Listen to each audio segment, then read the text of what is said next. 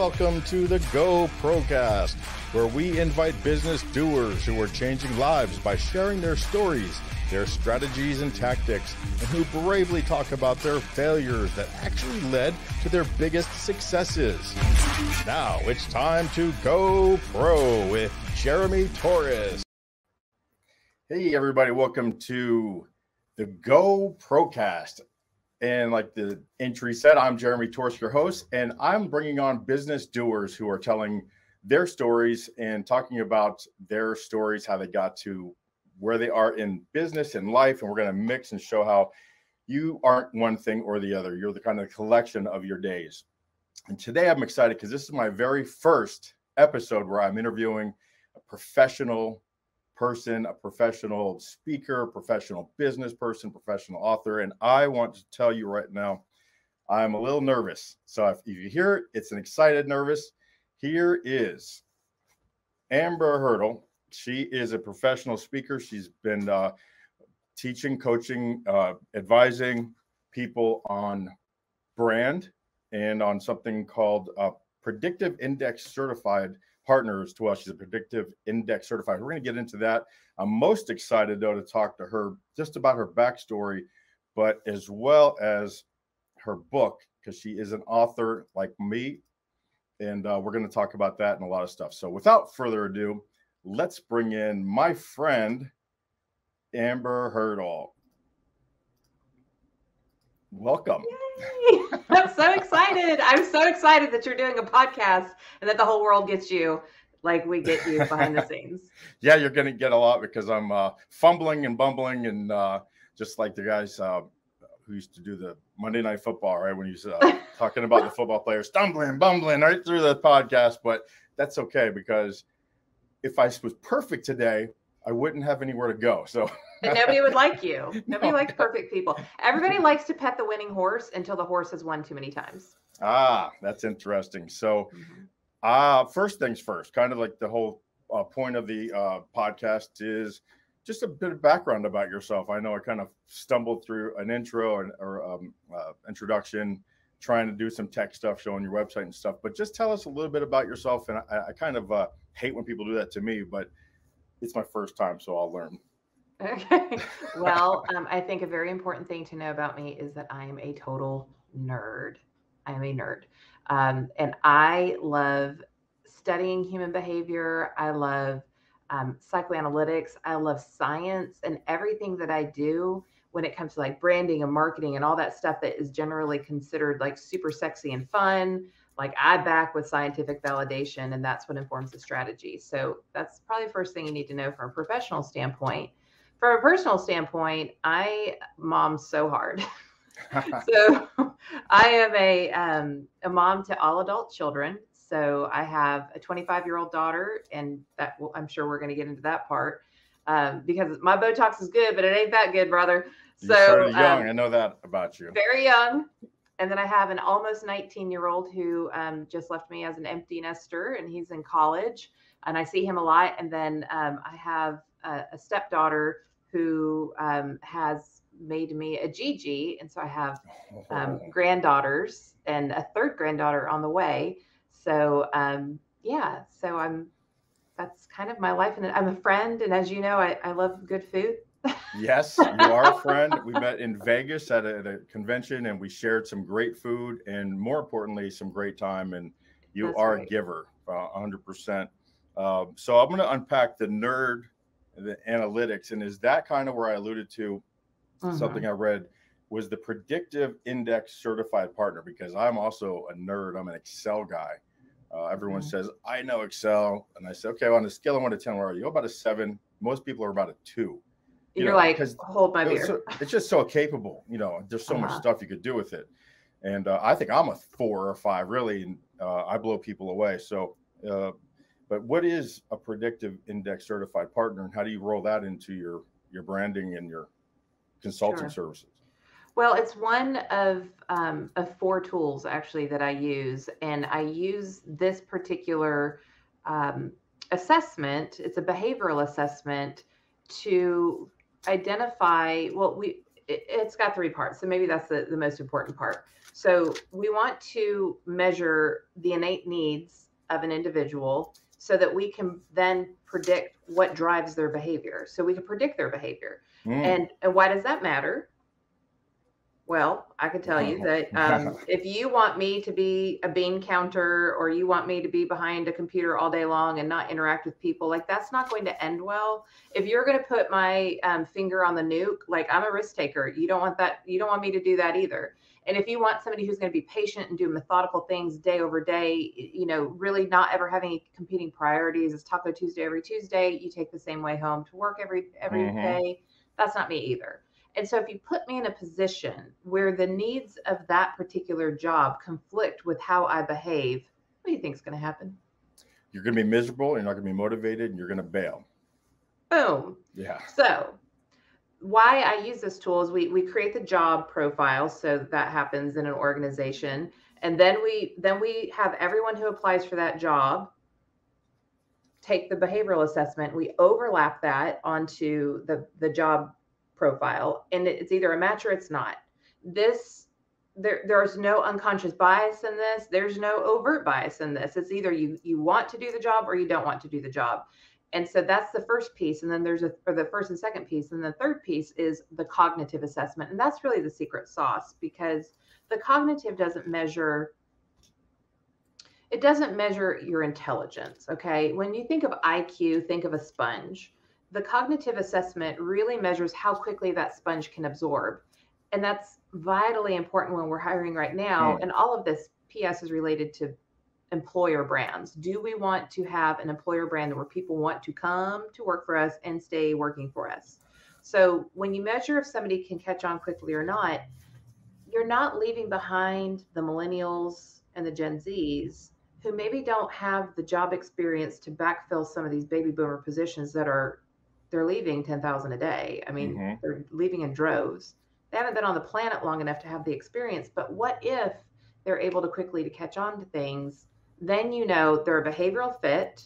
They're a fit for the team because that's the other thing. We we make sure that we assess the entire team. And and when we measure their their head, their heart, and their briefcase, we know how quickly they can catch on and then we can have faith that this is a person that's going to stick with us and truly enjoy their work I know that was a really long description, but that's the process. That's okay because as you're talking, I make I always make a lot of notes. But so there's a, a lot to, that you're doing there. Uh, one of the things I do talk about here in my business is the stat the strategies and tactics. So that's all kind of part of your your system, and then you have the process um, with your, your, personal branding, and then going down to employees, and then going to the business. So you have like a three yes. tier branding system there. Um, that what are the tactics though that you use though for each of those to help a company or a person build that brand well you know you you you framed it perfectly so i go in and immediately we start talking about the personal brands of the leaders not just the senior leaders but every single leader hmm. because if we trust you if we trust who you are and you're consistent with how you show up and who you say you are is who is how you act yeah, which is not always your, the case. Your actions are so loud, I can't hear you talking, and that's good or bad. All right. Bing, bing, bing. Yes. um, so we work on that first and foremost, so that we can build we can build the environment of trust, and people know like I want to follow this people. And when you have a strong personal brand, you're you're able to get to the end goal of leadership, and that's influence. So you're mm. you're creating an environment based on how you naturally show up where people are inspired. And and the other thing too is when you have a strong personal brand, that requires self-awareness. And when you're self-aware, then you can see and harvest the greatness in others because either you're like me and I can see that or you're not like me and that provides the contrast I need to understand that how it's not it's not do unto others as you want to be treated. That right. That's the golden rule. The better one's the platinum rule. Bam. We all know this. I say that, but then like people well, are like, "Oh, I've never thought no. of it this way." Yeah. Treat others the way they want to be treated, and so yeah. that's why the psychoanalytic tools. And I again, I use multiple. I use How to Fascinate by Sally Hogshead. i am one of her. You know, I've been with her for forever, um, and that helps us identify. Well, how does the world see you at your best, at your most influential? So we might bring that in, but let's just mm. say we're just using predictive index. We understand like what are my needs. How how does that motivate my behavior? How do I complement that on my team so that I can offset some of my less ideal characteristics for the job that has to get done. And once you have strong leaders, now those leaders are feeding a team that is being seen for who they are. They're being edified, they're being put into positions that they are naturally designed to do. Mm-hmm. Therefore, they are happy. And then you have a nice, well-rounded team, and you show that team through the through the data that hey, just because this person challenges you on things doesn't mean that they're a killjoy. It just means that you're not the kind of person that does the 10-point check on your parachute before you jump off the cliff. Right. Isn't it nice that they want to save your life? That right. they're looking out for you? And that's when what self awareness is. The big part is also self calibration because your life's not linear, right? You've got ups and downs, and if you are self aware, you go, wait a minute, I'm I'm not myself right now. I have to take a step back. It's not you, it's me, and I know that. That's so- oh, I tell my team all the time, and I told my marketing company today, I'm like, listen, if I'm the bottleneck, scream at me. Amber, right. you're being the bottleneck because I get I've got a majillion, I've got listeners, I have, you know, audience members. My inbox is like crazy train all the time. and so it's not that I'm wanting to ignore people, but sometimes it just is so much. So yeah, it's it's creating an environment where everybody gets to show up as themselves, and that's joy. An yeah. environment where I don't feel stressed out because I'm being asked to do things that I'm not designed to do. That brings stability. So now we have strong personal brands leading a strong employer brand that is able to recruit and retain top talent. And then guess what happens? Well, they probably serve their customers pretty well and clients, right? They probably make ravenous fans out of them. And just think about because it's not just it's just it's the whole customer experience. It's not just customer service. So customer mm. service is I'm interacting with the customer. Customer experiences from the time I'm introduced to your brand to the time I'm, you know, experiencing the product or the service that I bought. That's the whole experience. So if you have people who are staying and giving a little bit of discretionary effort to hit a deadline to make sure the product actually gets shipped and it's not a delay, then how do you think that customer is going to feel versus another company where they're like, eh, whatever, we'll just do it tomorrow?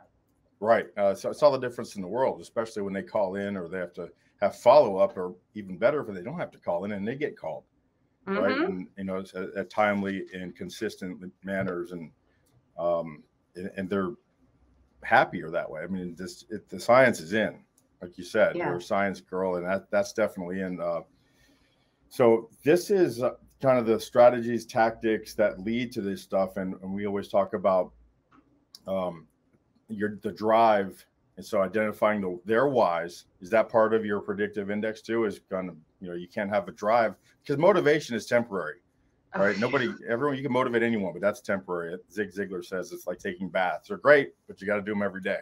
Every day. Know, better to find the drive. You know what drives you is your whys, and so teaching how people how to dig down in those whys, and that's all part then, of it there's times too i mean like you you and i are business owners i i need to profile you uh, remind me. And, and I would dare to say that you're probably like me because most entrepreneurs are. We're, we're, we're more risk takers. You know, the rule book's not really for us. Like it's more of a suggestion book. We can follow our own rules, but we're not exactly designed to like fall into step. Which means that we're not necessarily always the best at dotting every I, crossing every T. And so we need to surround ourselves with people. Mm-hmm. I, I mm-hmm. call it bubble wrapping. So we're not weak. Jeremy, you're not weak. I'm not weak. Nobody's weak. Okay we're badasses. Can I say that? we're bad man pajamas. Sorry. um, but we have things that are less helpful about how we're designed for the job that needs to get done. And so we need to bubble wrap that. Fine china is meant to sit on a table and have food on it. But yeah. what do we do when we take it out of its designed function and we ship it across the country? Right. We bubble wrap it. Yeah. So if you know what you need to bubble wrap, then you know, like, I need to put a process in place I need to bring a person in. Something needs to help sister out because I got to run a business and, you know, the IRS expects me to dot my I's and cross my T's. Yeah. And I was the bull in the China shop for a long time. In fact, uh, my shops always took on my personality and that infected them, it affected yeah. and infected them. Mm. So when they mm. went out in the field and uh, acting with the, with the uh, inspectors and with the city folks, and they were coming off too aggressive. And I had to go, whoa, that's because that's me. Uh-huh. So I had to change that whole personality and insulate myself from them and you know act a certain way, put somebody else in between as a buffer So Yes. basically, that he was my bubble wrap. That's Actually, right. it was is a woman named Donna who was you know, that that person. So like your integrator, right? If you've read Traction or what the heck is EOS or Rocket Ship.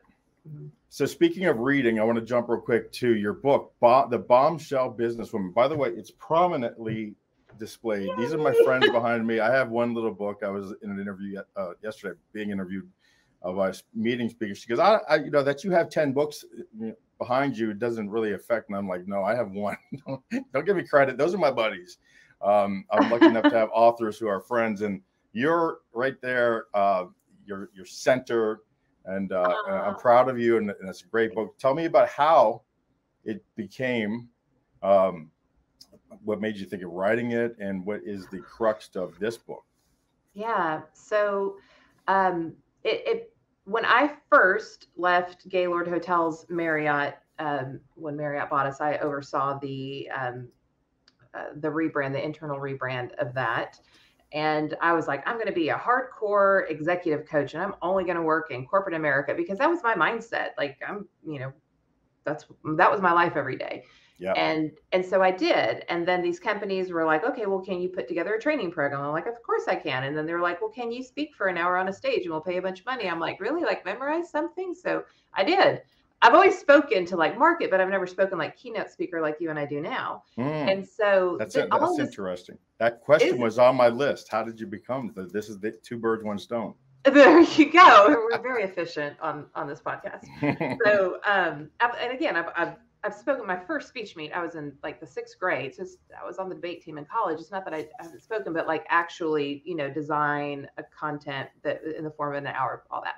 So anyway, so this is all going on, and then I had a bunch of women, some who are my friends, some who just kind of casually knew me. They're like, Amber, I really need your help with my marketing. You're killing it. Like you left, and like here's this, you know, you're really doing great.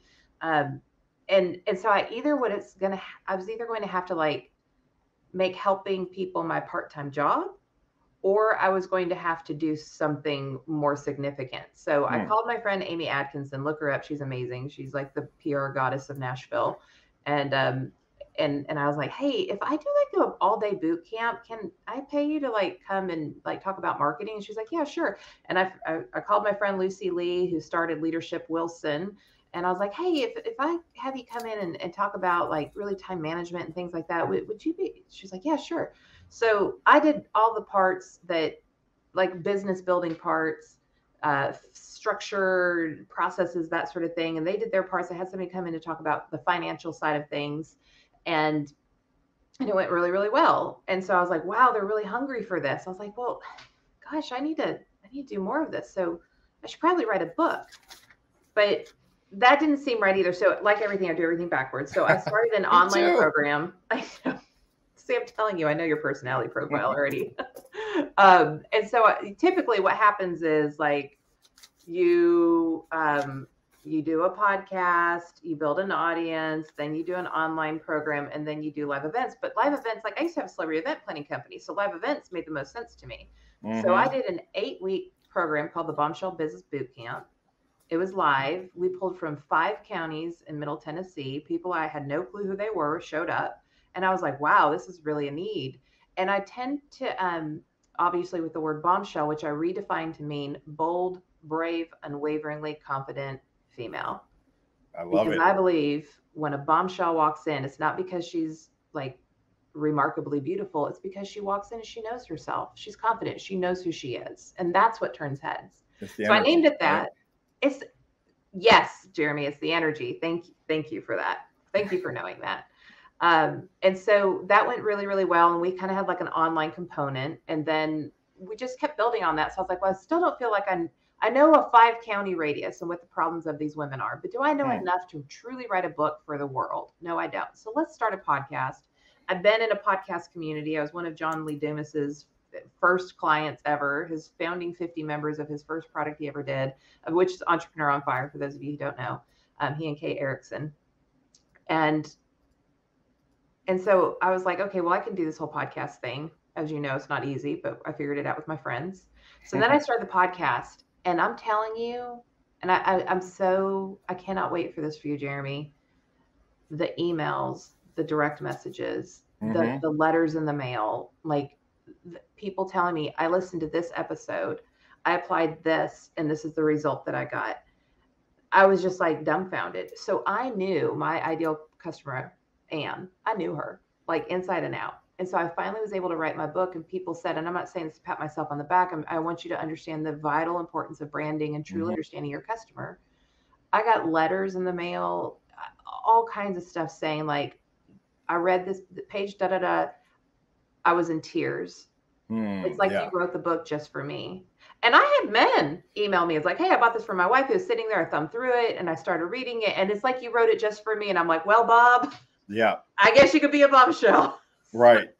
because it's you know I use I use the language and we have high heels and lipstick and that kind of thing but like really it's it's business advice for anybody but I also tell my story and I tell my story from stage and you probably heard me say it in Las Vegas like I got knocked up at 16 so and I'm here I'm I'm doing what I do and I'm and I I consult with CEOs and I talk about billion dollar problems and and I consult with small businesses and yeah. people's lives and I got knocked up at 16 so whatever is hanging you up whatever yeah. you're saying, I can't do this because that happened to me. Like it's beyond. No such thing. Right. That's yeah. Right.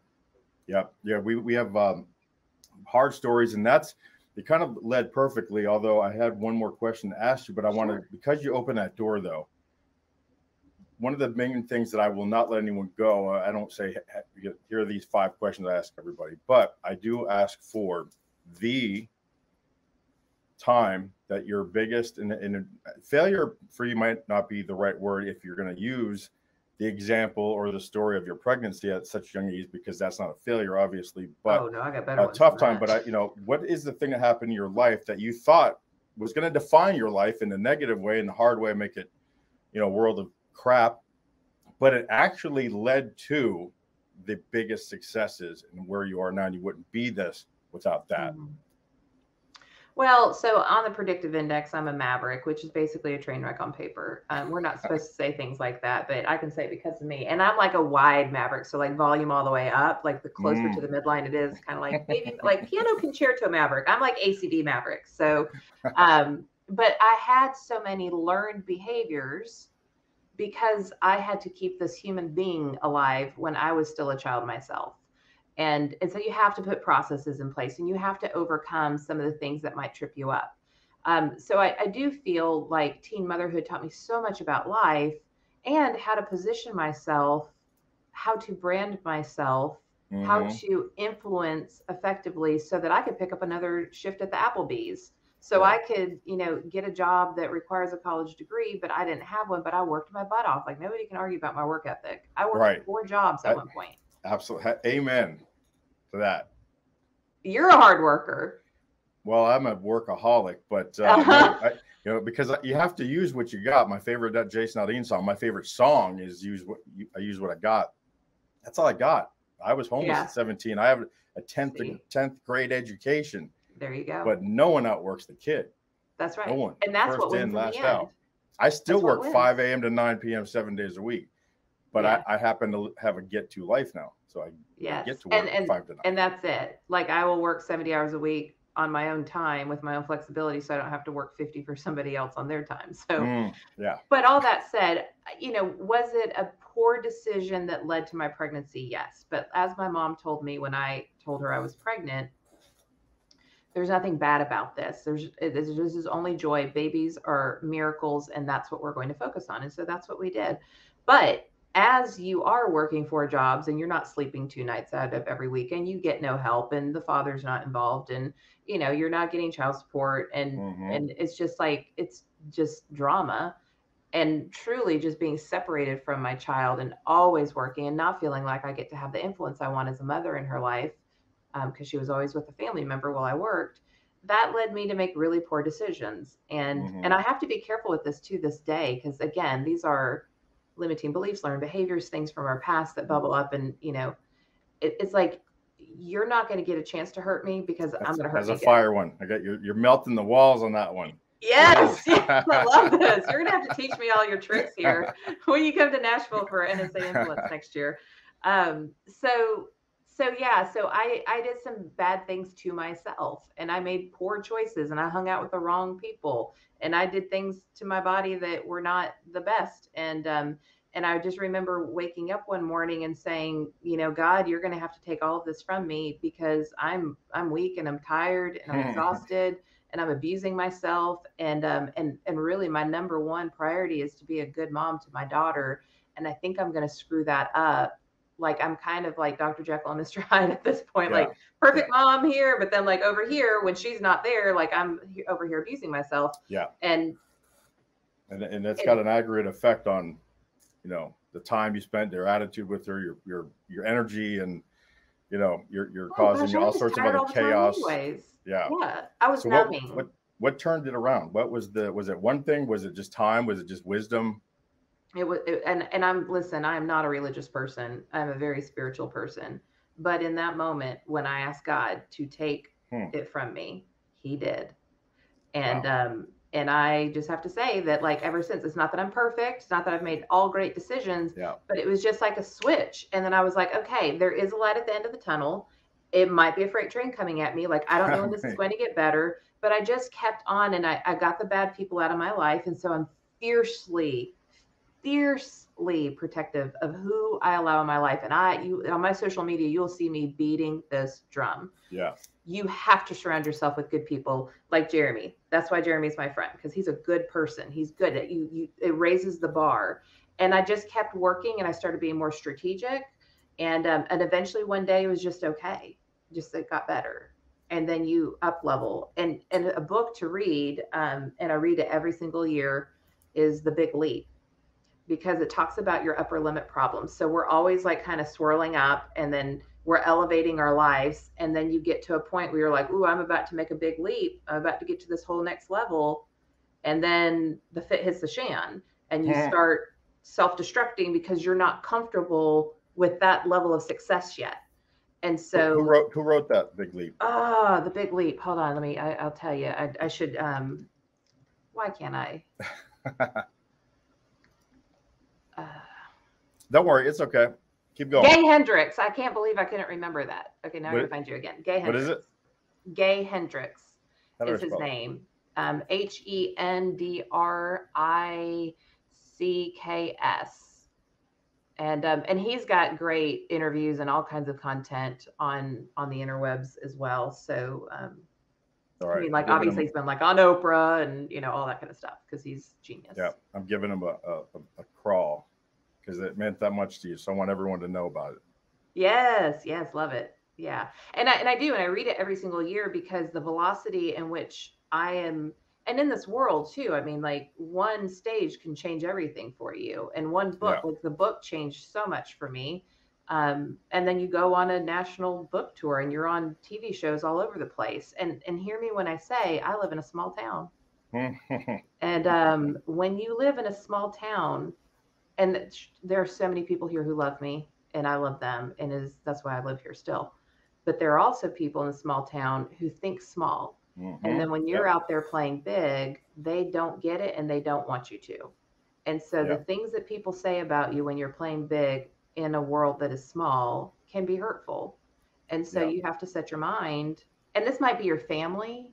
This might be your Mhm. own inner dialogue that, like, I'm afraid to outshine my siblings, or I, not mine. Oh, I have mhm. five siblings. They don't care. right yeah We're all like, we're all rock stars. yeah But, um, but you know, this happens in my coaching. Like, I'm afraid to outshine my spouse. I'm afraid to outshine my parents, my neighbors, whatever that somebody in the office next to me. And you were designed to get on this planet and serve humanity in a way that is extraordinary. Yeah, Because you're you to, to your limits. I was gonna say that doesn't sound very bombshelly, right? That sounds, you know, you're the self-limiting beliefs. And when you're in a small town like that, it's hard maybe to get the five aggregate people who are because you are the aggregate of the five people that you hang around the most, is what they say. That's right. Jim so Rohn. if other people are live listening, it's hard to find five people in a Yeah. small town. I, I live in a very big town, but it's a small big town. It's Yeah. surprisingly small for uh, Fort Lauderdale is a, a very small big town, but it's not a problem, and especially now with the internet. I, I hardly Yeah. leave my house anymore. I mean, I, I, I've you're you know we speak we we I follow you the way I, the way I lived on LinkedIn, the way I lived on you, the way I live on YouTube. Well, we get each other every people. Wednesday. Yeah. Like all through COVID, thank God for the mastermind that maybe that's not the right word for it, for the for the group that we, you and I are affiliated with. I don't know if I would have made it through COVID. Yeah. Like without that oxygen mask every single week of of like-minded people who are here to serve. Yeah, and that, that's I know I just joined. That's when I uh, met uh, everyone in July. But uh, it is I can see how that's a life um, saver. Tossed to you. I, that's how I wrote my book. Was during COVID. I've traveled 45 weeks a year for 10 years. Wow. So I was stuck in my house with my family, and they had a meeting one day, and they said, uh, "We don't work for you. Stop telling us what to do. What are you doing? You're just sitting here yelling at us." And you've got a rock so. star wife, so you better keep her happy. Woo! Yeah, I'm gonna tell you something. Uh, she is a good one. Uh, you got to keep the good ones. So that's right. Um, so that's great. So uh, I got uh, we have I think we went through a lot, but the one question I have to get to is mm-hmm. you have the best name for your program. The best name is the Velvet Machete. You have to explain that one because that's the one I've been saving for last because I couldn't wait to hear the story behind it. Yeah, so long, long ago, in the land of my twenties, I was a personal trainer, and um, and I had I had uh, I was both like the menopausal woman queen, and then also like the retired or close to retirement man trainer. Like those were the people who loved me best. And so talk about ideal profiles. And one of my close to retirement men came in and I would check his food journal and I would we would work out and I, I was just like, you know, here's the thing. You cannot eat a ribeye four nights a week and drink the amount of bourbon. And listen, I love me some brown water. Yeah. But you cannot drink that amount of bourbon and think that you're going to outrun what we do here in the gym. It's not going to work. Mm-hmm. Mm-hmm. And you said that you want to be able to play with your grandkids and live a long, healthy life. And that's why you're spending your money with me. So either you're going to do that or I'm going to fire you. Because the last thing that I need is for you to walk around town telling everybody that I'm yeah. your personal trainer and you have no results. That's not. Yeah, you know how many, you know how many how few people know that you can fire your customer. Yes. You know? like you are my advertisement. So if you come in here and just say, yeah. "Hey, I want to, you know, I like your company and I, I want to stay active," great that's your goal. But if you're going around town saying, I'm trying to hit these goals and I'm working out with Amber, but you're not yeah. doing your part, like, bye, that's yeah. not working. Yeah. So he looks at me and he goes, You are a velvet machete. Wow. You are so straight with me, but I like it. Yeah, that one, there like, you go. okay. Love so it. So it kind of stuck. Ever all, all of my clients started calling me that. Then it then it evolved, and then when it became um, you know speaker podcast or all that kind of stuff. It just stuck and it, it really is my philosophy because it's about it's the the, the machete cuts to the chase. Mm-hmm. it, it, hits you in the face it grabs your attention in our very attention deficit world it's only got in. one purpose. Everyone knows what it is. That's right you know. But the velvet wraps the message in a way that's appealing to that wow. distinct audience. So the velvet could change depending on who we are. And sometimes we do need to be heavy on the vel- on the machete, and sometimes yes. we need to lean into that velvet. But most of the time, it's the balance that's going to help us win. And that's not just with others; that's also with ourselves. So can you can you be confident in who you are and also show yourself compassion? Because when you have that magic mix, now you're an effective leader. Outstanding. That is crazy, and and, and I knew it was going to be great that story, and it was. It didn't. it didn't disappoint. Um, you know, I could go on forever because you've got so much stuff, but I know that we humans these days have a very short attention span. So, I want to uh, ask you to to tell us what you're doing, where we can find you, where you know, how can we support you, how can I support you? Lay it on us. Okay. Well, Jeremy, you just keep being in, in that top group of people where we, you know, feed off of each other and elevate and, and that sort of stuff. So that's how you could personally help me. Um, what we're working on right now is, um, you know, we, we do things for both genders. I have audience with both genders, but what we have found is that um, we are, we will soon be launching a coaching program specifically for high powered women who may work in a male dominated culture. That doesn't necessarily mean industry or just, it, it might just be that they don't feel completely empowered to be as powerful as they are. And I, and I'll tell you, Jeremy, I scare some men. You're a very secure man, a very self-aware, secure man. So we could be friends. But when you have this kind of um, energy, it's hard in the world. It's hard to make female friends. It's hard to be really who you are in the workplace and not get the B word label. Mm-hmm. And so those people come to me and I help them balance their velvet machete. Wow. Yeah, I think you could probably do it for uh I mean it's all it's we're people. You know, mm-hmm. it's all chemicals, water, you know, oh, electricity, yeah. and, and, I have tons of male CEOs I work with. Yeah, but we, I had the same problem. You know, I, I guess it would be called dick resting face. Uh, you know, I just always looked pissed off, right? But every time someone talked to me, I'd perk right up. How you doing? Great. You know, one of my, ta- my taglines is just great. I always say great for a lot of reasons. Number one is I don't really know why you know my business. So I'm not going to tell you anything that's going on. It's not great. But when I wasn't talking, I just looked like a bulldog. Like, and so everyone just thought I was a jerk. And uh, actually, it's probably good to keep people away from me. But uh, I think it was a survival, mm-hmm. you know, result as growing up in the streets so like I did. Yeah. You know, you kind of yeah, because jerk is not the first thing that comes to mind when I think about you, Jeremy. I've, I've evolved. I've evolved, and one of the things that helped me was uh, I've been extremely lucky at finding great women. My, uh, I have, my kids have the best mother. Uh, you know, we didn't work out in the long run, but we're still best friends. Her husband's my best friend, and then my That's wife. Awesome. You know, I just I've been very lucky to find women who go, hey, you know, you clean up well let's just see if you can walk it now. you know, uh, you, you yeah. can clean someone up, but if they don't act and don't walk the walk, they're you know that you're never going to be happy. And you know, they inspire me, so I want to be good for them and yeah. be good examples for the kids. And and you are you're a great example.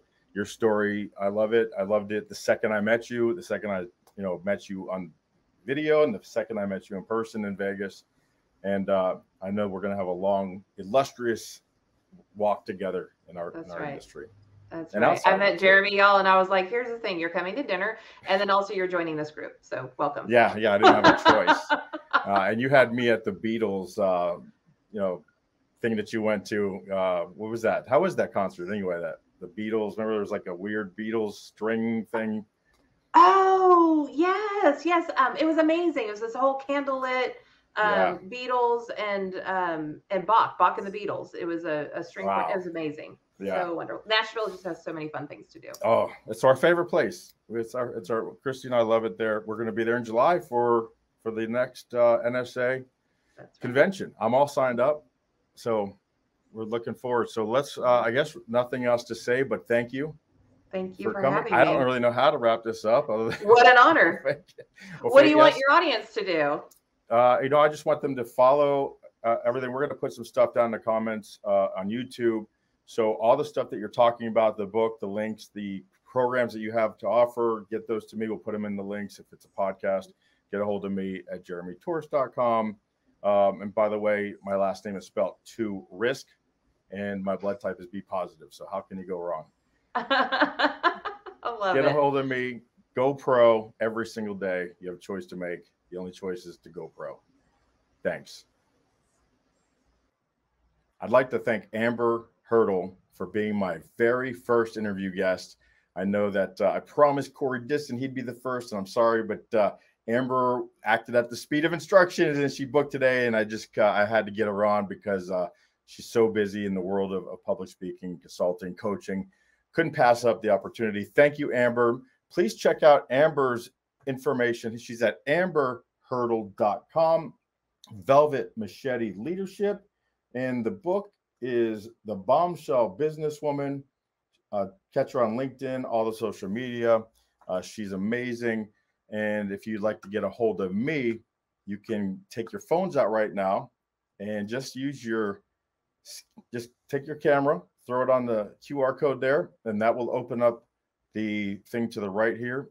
And it'll show you my phone number, my email, my LinkedIn, my YouTube channel, um, everything that you need to know about me is all on there, all the websites. It's uh, by scans. And we will see you next time on the GoPro.